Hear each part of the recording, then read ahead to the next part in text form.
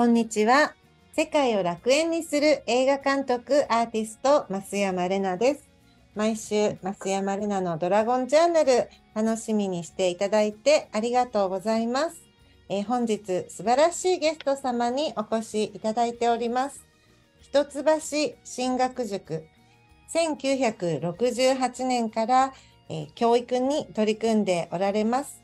脇本ひろ、ひろこ先生です。えー、本日よろしくお願いいたします。よろしくお願いします。はい、はい、先生はこちらの一橋進学塾の代表として、多くのお子さんたちを、えー、教育で育てられて、その中には日本の様々な、えー、ジャンルで 活動されているあの教え子の方がいらっしゃいます、えー、こういったご縁をいただきまして、あの大変嬉しく思います。本日はよろしくお願いいたします。よろしくお願いします。はい。はい。あの、先生の一橋進学塾の、えー、岩手のあの合宿所の方にもこの間伺いまして、えー、自然の中で地元の方々と一緒に作り上げている素晴らしいあの環境を拝見いたしました。あの自己紹介と、えー、どんな思いで教育に取り組んでおられるかというお話をお願いいたします。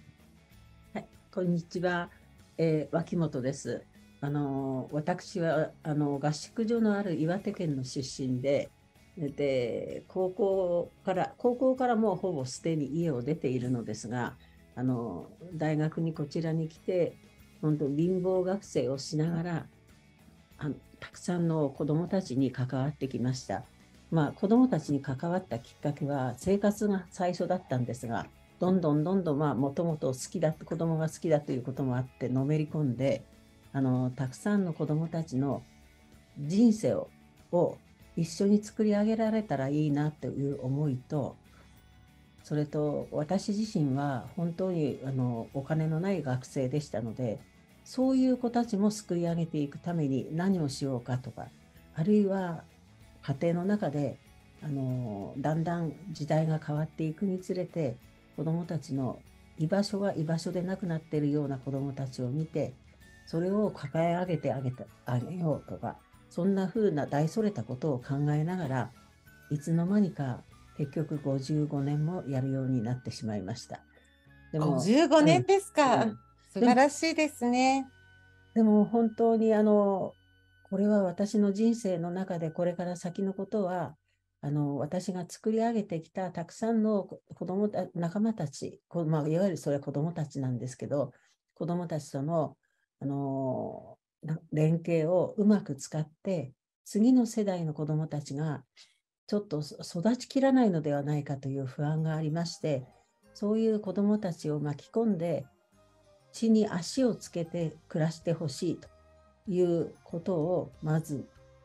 一番に考えて合宿を特に大事にしております。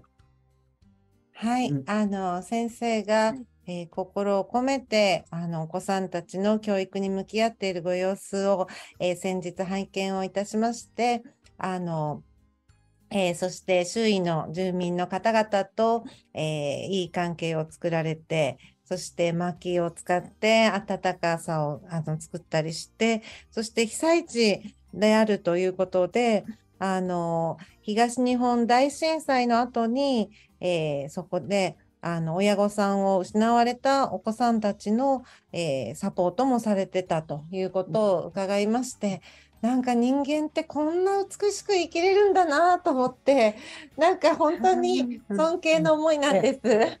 はい、あの先生の生き様に触れさせていただいて私も勝手に教え子の一人というふうな気持ちがあるんですけれども。あのどういった、えー、思いで、あの活動や、えー、教育や、えー、取り組んでおられるのか、もう少し教えていただけないでしょうか？そうですね。あの私は、まあ、生きとし生けるものをまずあの共に生きていこうというつもりで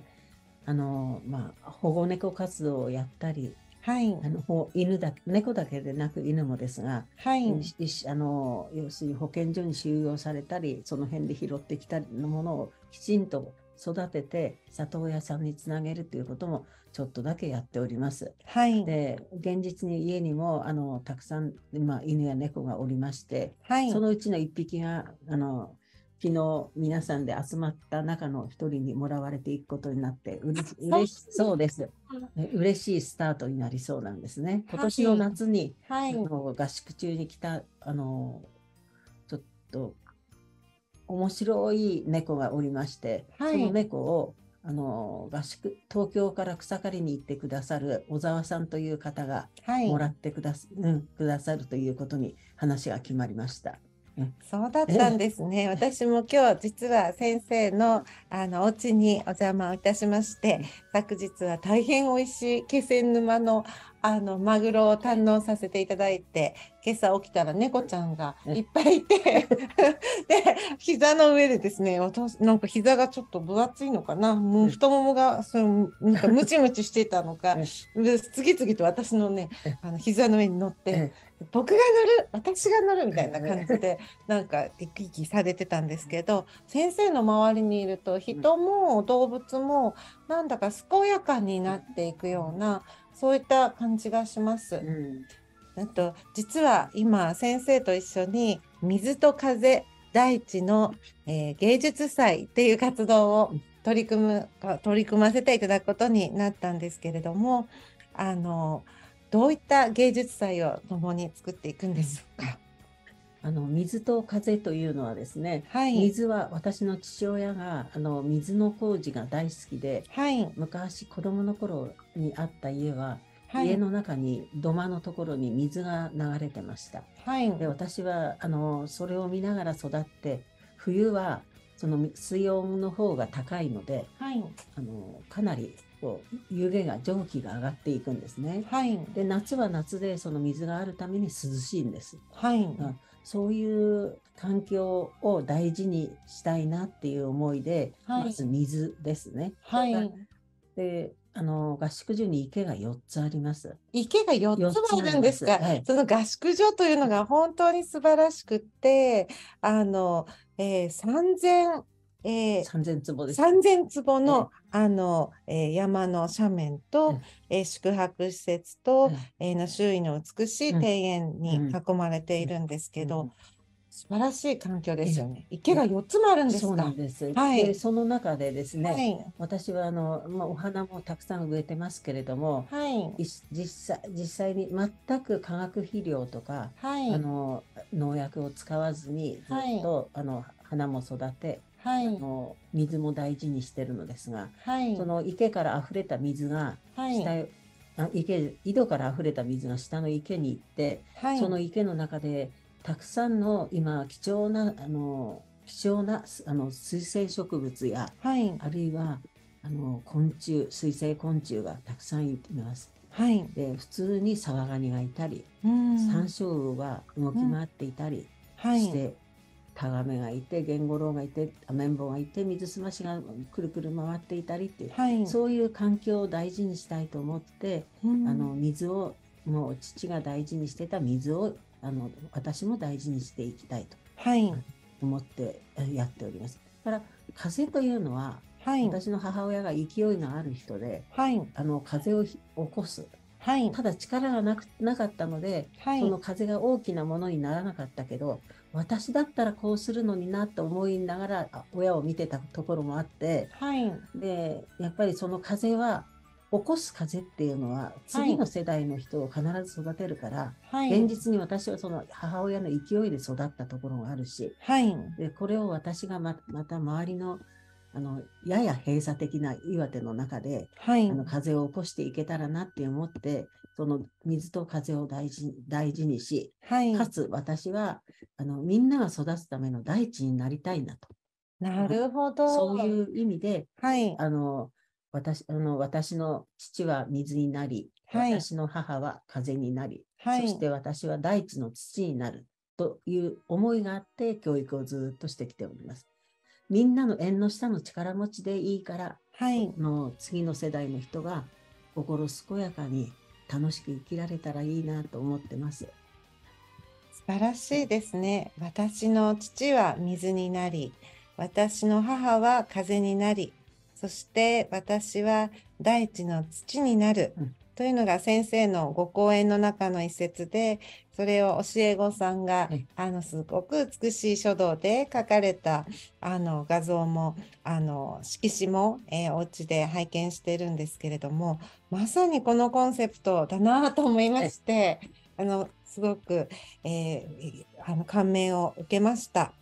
で今そのコロナの時代で子どもたちはマスクもしながら距離を置かなきゃいけないとか人と人との触れ合いがなかなか作りにくいとかまた体験がなかなか少ないとかいうことを、えー、おせっかいながら心配してましてこの若者もあの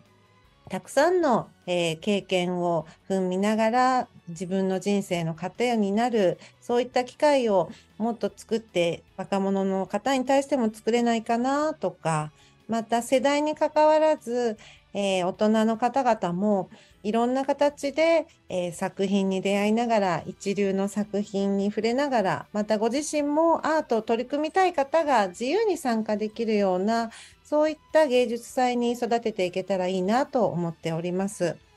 えー、先日拝見した時にあの岡本太郎が、えー、野焼きをしている、えー、地域が、えすぐ周りにございまして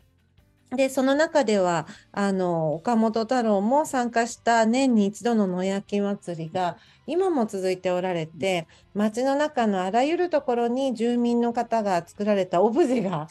展示されてると、あの風情にもすごくなんかこう感銘を受けましてみんなで一緒にこう芸術に取り組んでいくっていうことをぜひあの一関市の、えー、市民の皆さんと、えー、共にできたらなっていうふうに思っています。またあのこの1月20日の金曜日、えー、から1月21日の土曜日にかけてまず第1弾の水と風第一芸術祭開催されるということで、えー、私増山玲奈そしてえー、芸術家として活躍されております奥正幸さんが参加されます。あと今サウジアラビアの源幸四郎さんからもメッセージ来まして、うん、参加しますということで嬉しいですね。はい、えー、ありがとうございます。源さんの演舞もぜひ、えー、あの素晴らしい環境の中、えー、披露していただけたらと思います。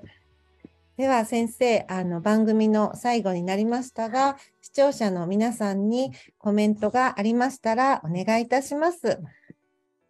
はい、生きることっていうのは食べることなんですね。生き食べる食べるということは餌ではなくて本物を食べ、本物を見、本物をあの作っていくことが生きることだと思うんです。私はそういう生きる力を持った子どもたちを育てていきたいなと思っております。何らかの形でいい影響を与えられる生き方をしていきたいなと思います。